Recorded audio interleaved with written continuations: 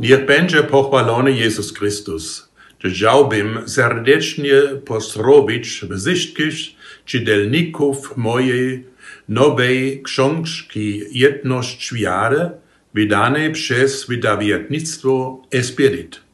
Książka ta opisuje łączność człowieka z Bogiem w Jezusie Chrystusie i widoczny znak tej łączności w postaci Kościoła katolickiego w Rzymie, który wyraza żyje w osobie papieża.